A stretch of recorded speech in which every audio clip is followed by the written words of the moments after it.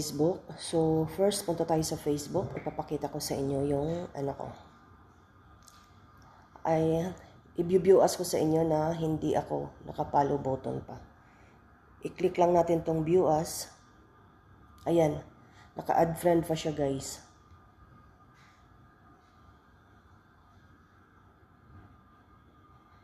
Yan ang iano natin. So, back lang tayo.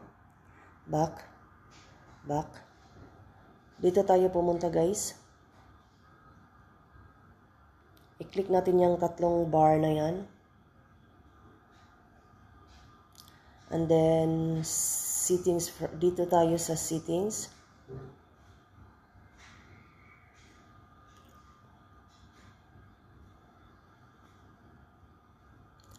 and then settings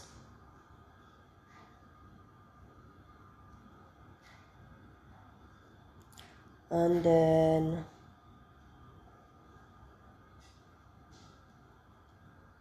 how people can find and contact you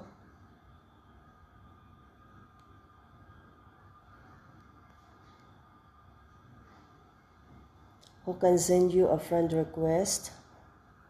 Click natin to.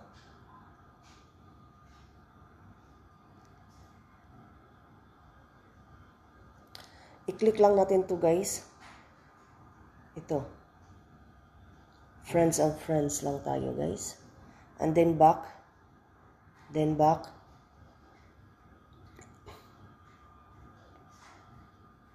And then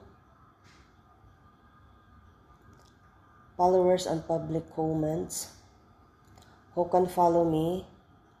Ito guys, i-ano tayo natin i-public kasi ngayon naka-friends, di ba? So i-friends natin. And then uh, go back lang tayo.